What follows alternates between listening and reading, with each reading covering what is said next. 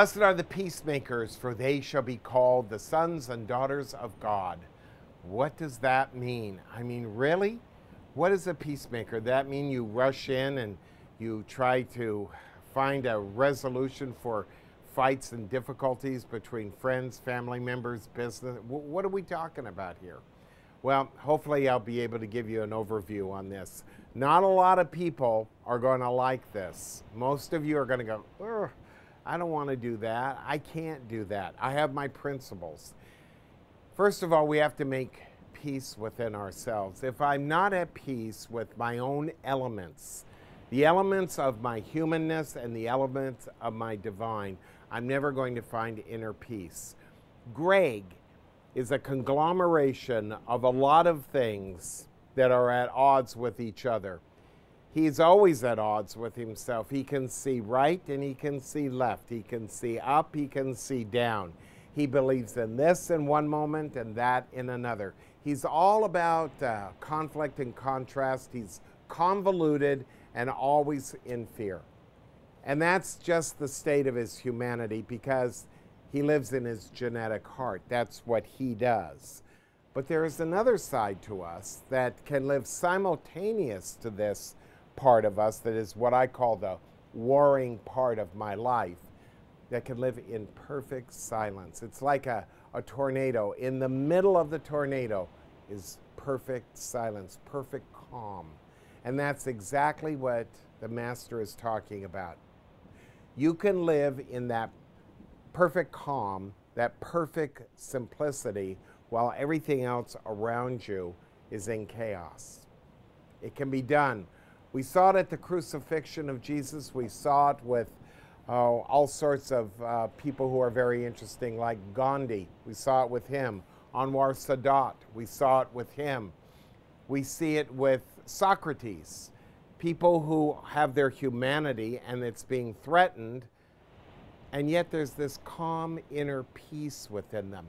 That's the peacemaker. And how does that happen? By not trying to perfect the human and make it into something it's not. You're going to have to be willing to sacrifice what the human wants for the sake of inner peace. And if you are willing to do that at all, it will be because you've understood what it means to be poor in spirit, to, to mourn, of course, to have remorse for your life, to be able to understand the nature of what it is to be teachable, meek, and to be able to go into something more powerful through the idea of concentration, focus, meditation. And now we get down to the M word that nobody likes to talk about. What is meditation? What are we doing when we're meditating? Most people are just trying to calm down their psyche. They're trying to calm down and focus on something to relieve their emotional attachment to drama and fear and anger and hate. And that just doesn't work. You will find that your human side can never be in meditation. Actually, what real meditation is about is about bridging yourself to the other shore that lives within you, the shore of inner peace. It means you come to a place inside where you realize you can't control everything in your life. In fact, you can't control anything in your life. Meditation is the awareness to sit detached from the idea of believing that there is a happy, perfect life out there and you deserve to have it. When a person is willing to meditate without the need to have confrontation with their thoughts and their emotions, they begin to feel that overwhelming sense of inner peace. It is such an integral part of my life, no matter what is going on. Greg, Greg freaks out. Greg has his ups and his downs. Greg has his beliefs. Greg has his stuff over and over. Greg is doing this and Greg is doing that. I'm very aware of it. It's out the corner of my eye, though. I know what his mischief. I know what he's up to. But I'm not going to go over there and try to calm him down, to soothe him, or to tell him he's wrong or to tell him he's right. It is not my job. I don't see that as important. What is important? To be at peace within myself And to do that, it isn't about coming to conclusions about my life. The more you are in conclusion about your life, the more you believe there's a beginning, a middle, and an end to any thought you have, the more you believe that thoughts will bring you to the ultimate conclusion of any aspect of your life, the more you're going to find that impermanence steps in and a great deal of convolution begins to evolve out of you. This convolution makes for war with my elements, and I'm fighting myself. I'm not seeing the bigger picture. I've lost the bigger picture. And I'm merely fighting for the idea of what seems significantly fair and right to me, which may not be fair and right at all. In fact, frankly, there is no fair or right at all.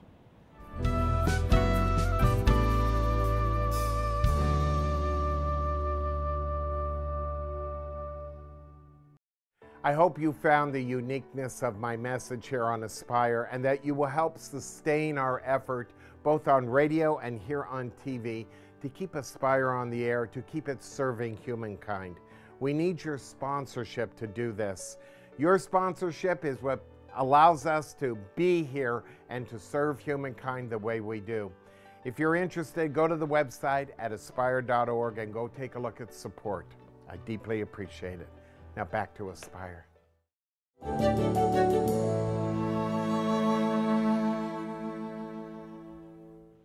An authentic peacemaker is not a person who's willing to hold their opinions, no matter what they are, for the sake of their pride and their vanity. An authentic peacemaker is someone who is willing to give up their opinions and no longer be insulted by whatever's going on because the idea of allowing peace to enter into a situation or within themselves is more important than holding an opinion that has nothing to do with the meaning of a person's life. If I do not find the meaning of my own existence, both in this world and in life itself, I will never want to have peace. I will say that my principles are more important and my opinions reflect those principles and I will not budge. And this is why we never find peace on this earth and why Jesus even said there will always be wars and rumors of wars here on this earth. And there will be because our pride is attached to our opinions. As long as I carry an opinion, I will be insulted immature people love to be insulted.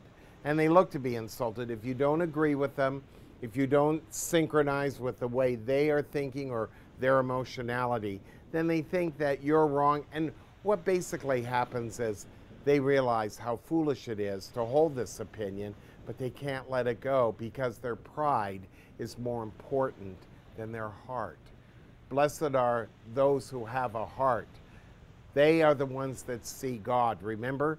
They are the ones that recognize the pure in heart experience is that of not holding a judgment towards another person, but rather to initiate compassion, compassion towards myself and others. I have to work with all sorts of different people. Um, my retreats, my workshops, my counseling, everything that I do, I'm working with people who have the opposite end mentality, as I call it. They may be seeking a philosophy or some kind of understanding about what it means to be authentically spiritual, but to give up an opinion, a cherished one. What is your most cherished opinion about anything, about anyone? Are there people in your life that have hurt you and you say they are bad people?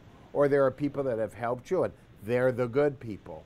What is your most cherished opinion? How do you know you're right, quote unquote?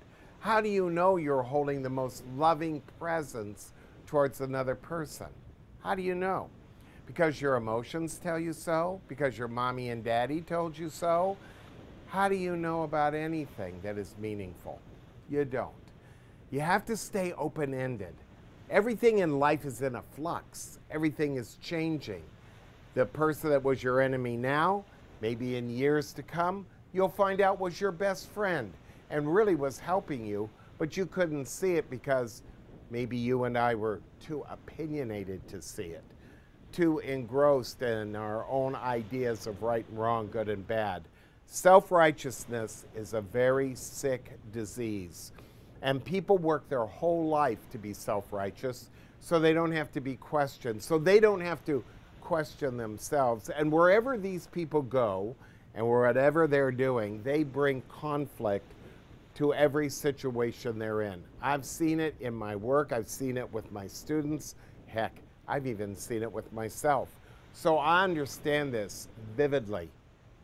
When a person makes love more important to them than the conflict of being self righteous, they put aside the futile, the mundane, the pedestrian mentality, the minutia that we love to be in, and we start to enter into a phase of consciousness. When I'm in consciousness and Greg can stay over here and he is not perfected or I'm not trying to perfect him, all of a sudden a new presence enters in. It's like a breath of fresh air. You start breathing the air that is love. You start feeling the sense of the heart. Your intuitive nature starts to build very quickly. And all of a sudden, from out of everywhere and nowhere, you realize holding an opinion is worthless. It is the relationship with another person. It's the relationship you have with life. It's the relationship you have with your awareness that is more important than anything. And that awareness, that relationship, that love is greater than my emotions and how I feel about my emotions through Greg's opinions about what he deems as being intelligent or unintelligent or right or wrong. If I'm not willing to drop any of this, I'm never going to find inner peace. And don't you think that in a funny kind of way, that's what we're looking for? We just want to be at peace with ourselves, peace with our life, peace with the whole thing, where we go into a sense of non conclusion about anything. I have to be not exclusive like I'd like to be with people, but inclusive. I can find inside anyone that which lives within them. They may not know it's there, they may not recognize it, but that which is there, which is all about love. And then I respond to that love. I speak to that love. I speak to the more, shall we say, sincere part of their heart and maybe even their soul.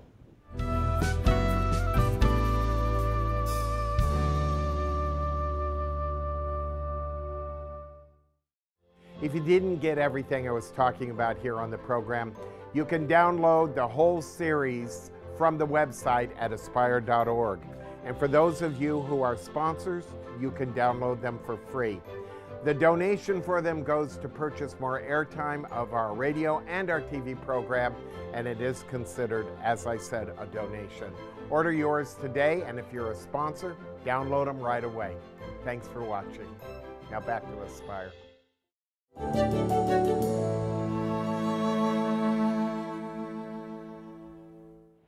Ultimately, all of us are responsible for the state of the world the way the world is. These little private thoughts that Greg has and you have, and about the people that have hurt us or done us wrong or took away something that was very prideful to us, made us look like a fool or whatever, really don't matter. It doesn't matter.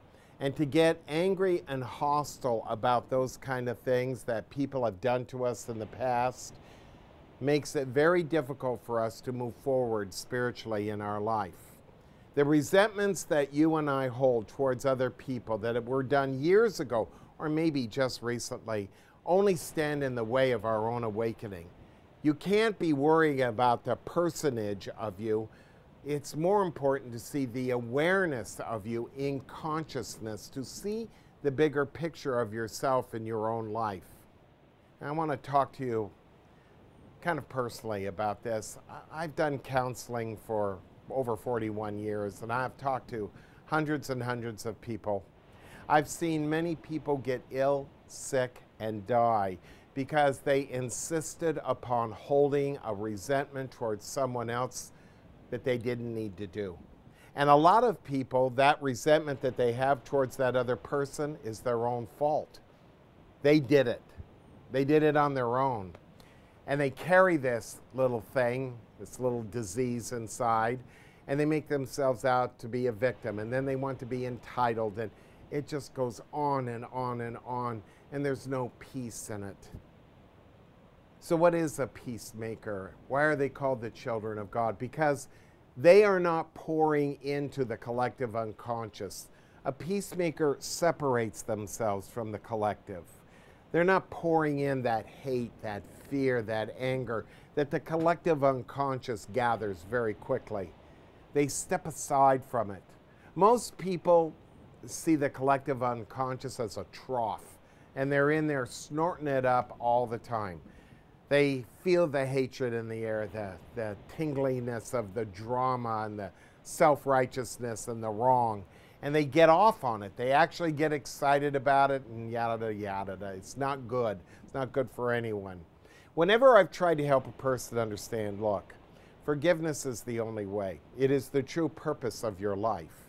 And you can't hold resentment towards people for what they've done or said. What good does it do? And by the way, what makes you think you haven't done the same or even worse in your own way?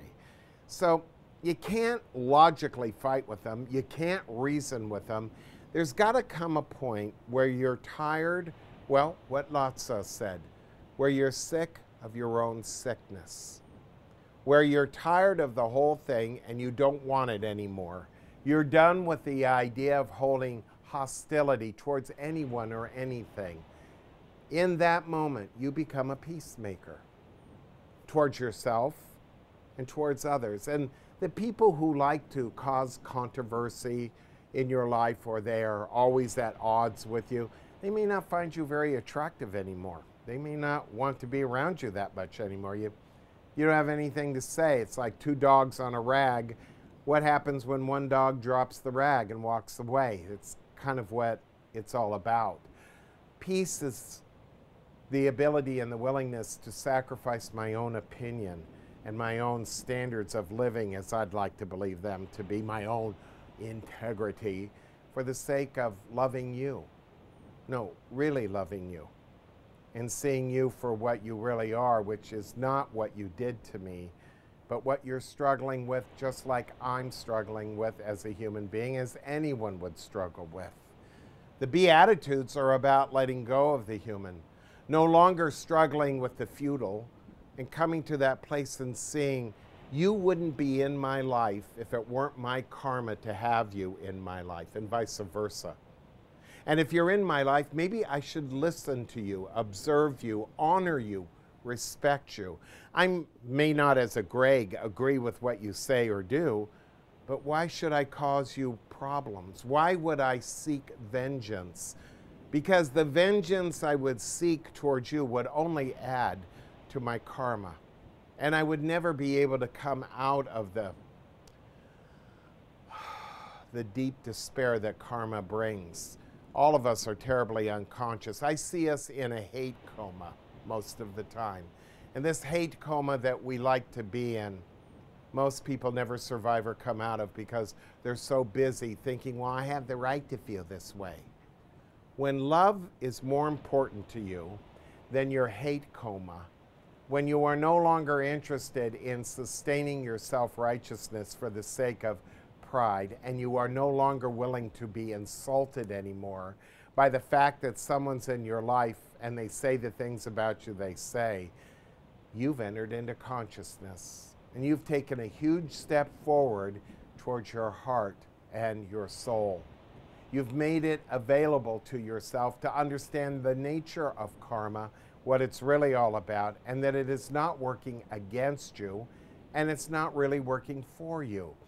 It is the reason you came here on this earth and you are on what we call the spiritual path. I hope I was able to help you. Please forgive me. Namaste.